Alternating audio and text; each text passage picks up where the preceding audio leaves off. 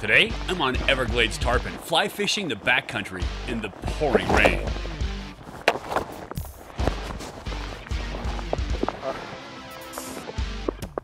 It's one of the most interesting tarpon fishing trips of my life.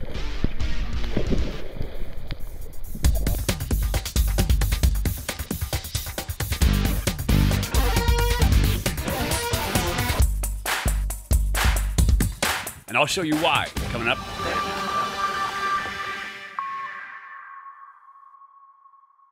Hey everybody, welcome to Familiar Waters and FWFishing.com. I'm Mike Pawlawski. Today, I am fishing the backcountry of the Everglades for tarpon.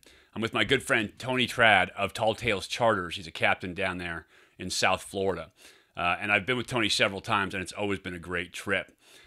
I love fishing the backcountry because it's so wild and remote, and this trip is no different, except it is absolutely pouring rain. It's the middle of June. We've got that summer thunderstorms coming down, and it poured rain all morning. So we start off the day on a little handheld camera because the production cameras couldn't even crank up because they had a dew warning on them. And so early on, big cameras won't start. Little camera has to get it done, but we were putting fish in the air. So before we start, don't forget, subscribe, give us a thumbs up, hit that like button, and leave us a comment down below. We would love to hear from you. You can also go to fwfishing.com for a lot more fishing information. At the end, I'll talk about fly selection, why we chose the flies that we chose for this trip, uh, and the colors and everything else. But uh, that's coming up at the end, so you want to stick around for that. Right now, let's hit the water. Uh, it is pouring rain. We got the handy cam working, and we're putting fish in the air.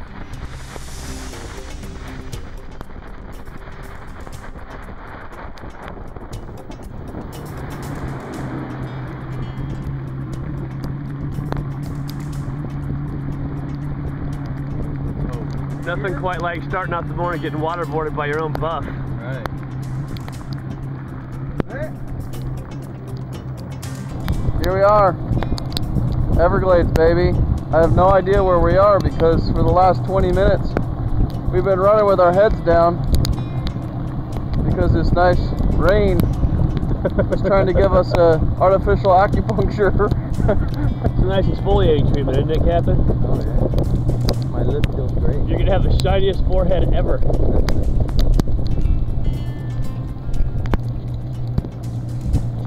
As you can see, it's uh, summer in the Everglades. this is the rainy season after all. Ooh, boy. A little thunder coming over the top here. A little wet this morning. Um,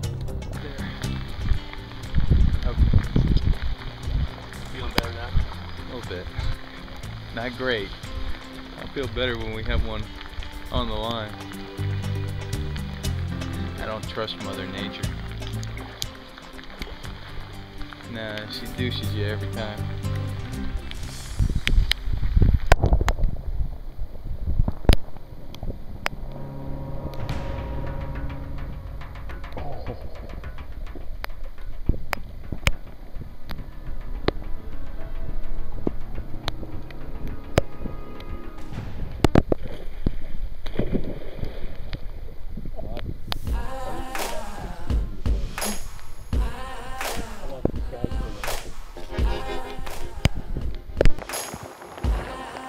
Southern Florida weather. Ah, the life fishing hook. Well, at this point, the rain lightened up just a little bit. Still raining, but the cameras would operate. So we pulled out the production cameras. I've got fish eating. I got them jumping, and we wanted to get some good footage for the good cameras on this one. And right now, the fish are rolling all around.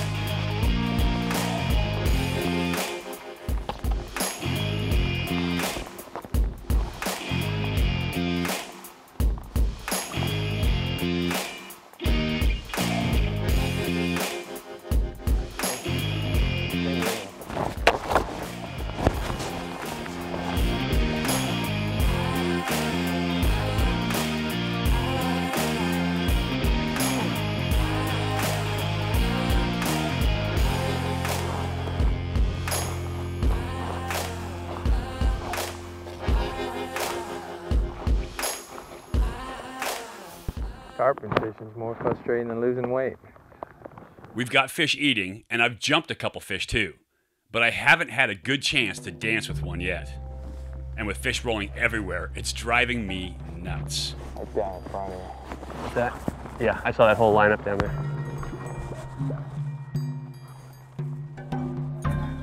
What's that? Back here. Okay. Think they're more right.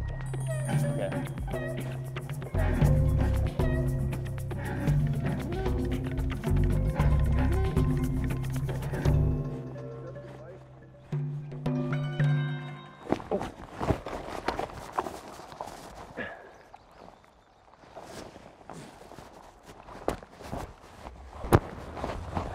Now let's see what we do.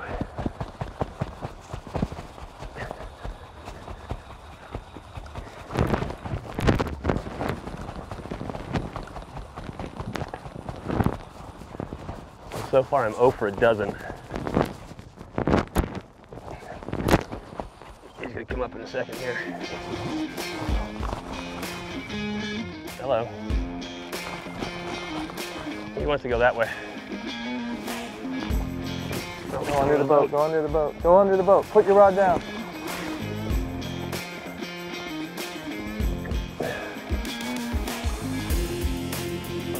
That's one way of doing it. sort of.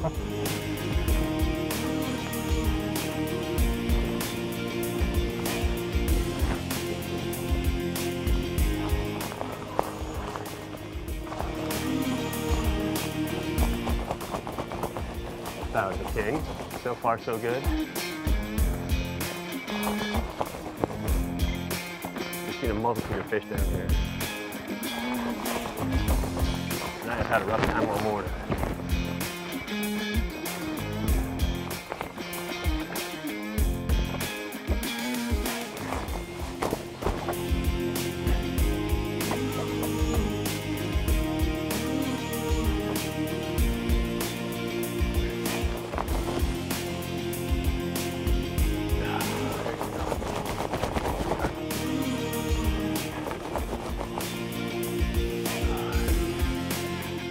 we got another one rolling right behind my fish.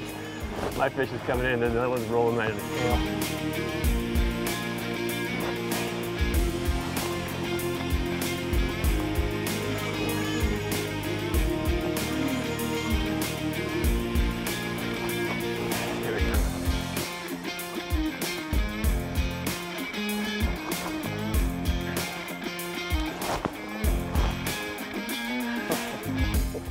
Cool.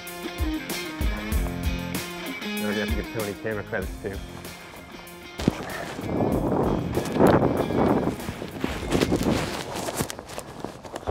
Ah, oh, popped. Much better, closer. We're getting there. Much better, we're almost there.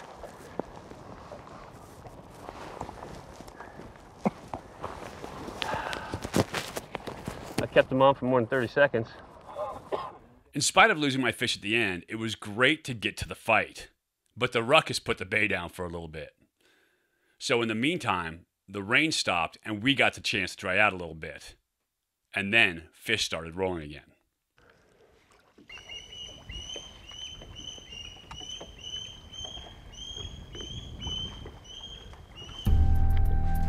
There's one.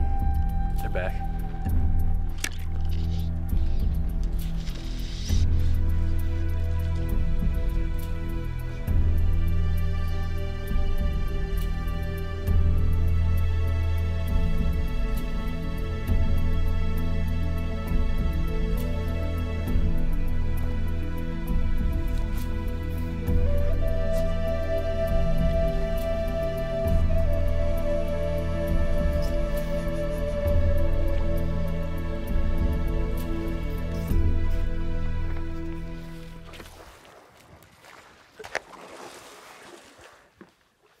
Watch that line on the push pole. That's right. Bow when they do.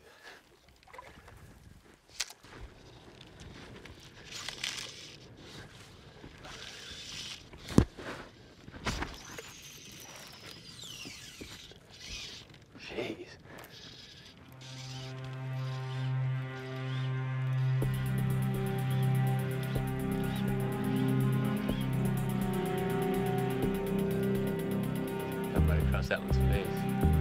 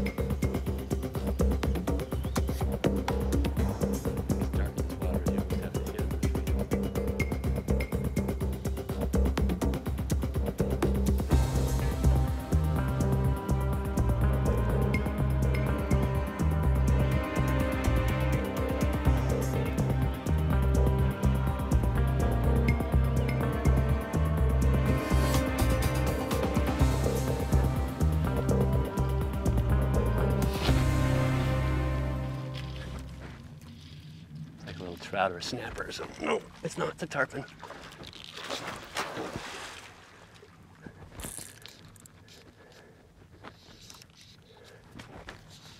Your feet are looped around your. Uh, take a step back. There you go.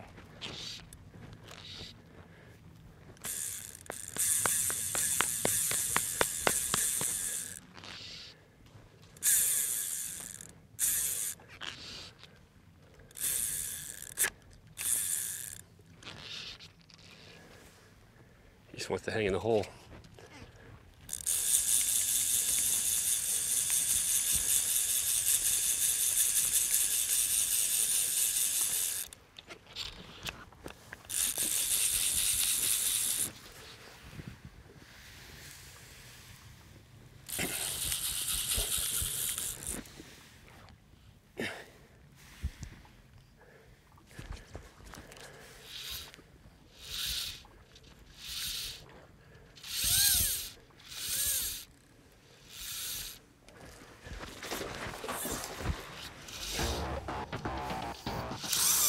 Oh, there it is. Hey, hey, I'm hooked.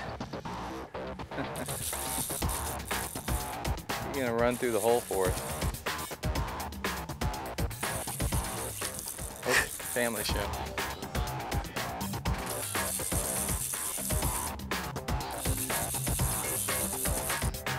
Good job coming tight on him, Mike. Thank you.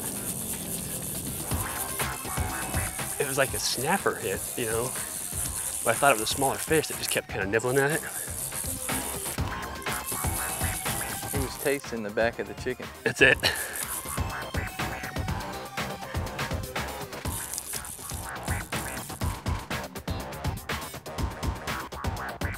He's right here. An attorney, we reach over and we push up on him and touch that leader he's landed. Good size too for a tournament, uh, release tournament, you know, a uh, non-weight tournament. Right. He just wants to hang right in the hole. He doesn't want to go anywhere.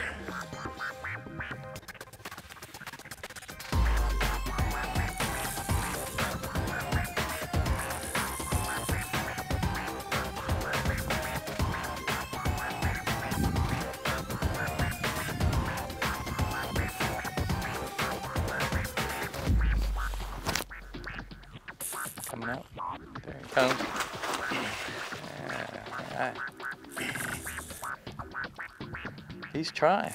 Yeah, he is. He's a gamer. He's fighting for his life right now.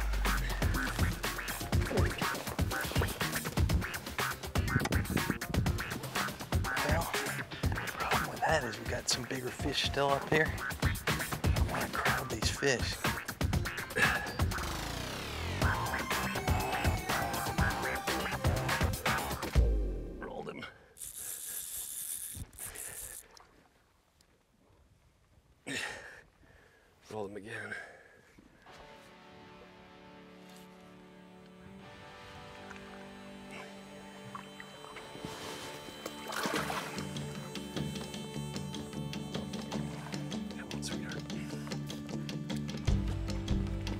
That, we touched one.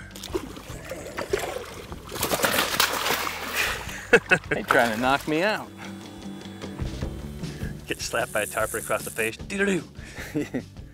Take that, Tony. Wouldn't be the first time. I've seen you before. There we go. That's how to do it.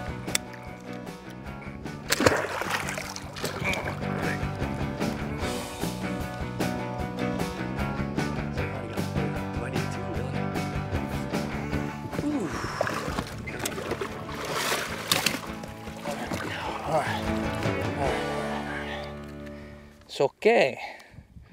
You don't worry about it. How about that? Finally put one in the boat. Good That was what, 24, 25? Yeah. Let's see. This guy's gonna go about 30 pounds. So that was my waterlogged first morning back in the Everglades. And there is a lot more to this trip coming up. I told you we talk about fly selection. So on the morning, we were using black flies, black and purple, black and red. And a black death, obviously, it's a famous, you know, long time successful tarpon fly, uh, traditional down in the Everglades. And so black death was the first fly we went to on the morning. And the reason we're using black is because it silhouettes better. Ta- water's really tannic. Uh, it's kind of gray in the background, so not a lot of light penetration in the water. You want something that silhouettes real easy. It's easy for the fish to find. So black. We also went with the purple demon, which is a black head. It's got the purple uh, hackles coming out the back, and so another good silhouette fly. And then a black and purple tarpon toad. I love toads personally. They're fantastic bugs. Uh, it's going to be one of those longtime classics for tarpon. Uh, but I tie them with some weight on them sometimes, something that pushes water up front, but will get some depth as well. Toads are tied to hover, but sometimes you want them to get down. And so I have some tarpon toads that I tie with weight at the head, and that's what we use at the end to try to get into those holes that those tarpon were sitting in. So that was fly selection for the morning. We change it out when we come back. You'll see a lot more of that in the next video we have coming out from the Everglades. Make sure that you subscribe, hit that thumbs up button. Make sure you ring the bell when you subscribe as well. And don't forget to leave us a comment down below because we would love to hear from you. You can always go to fwfishing.com for a ton of information about tarpon, about trout, about casting, about everything that you need to learn about for fly fishing. If you're new to the sport, we've got a ton of information there to help you get better in a hurry. If you're an old timer in the sport, there might be some new tips and tricks in there for you as well. I'm always trying to learn myself, so I don't care where a tip comes from. If it works, I love to have it in my bag of tricks. I do appreciate you watching. I will catch you next time from the Everglades. But for now, I'm Mike Pawlawski for Familiar Waters and FWFishing.com, and I'll catch you on the next piece of Familiar Waters.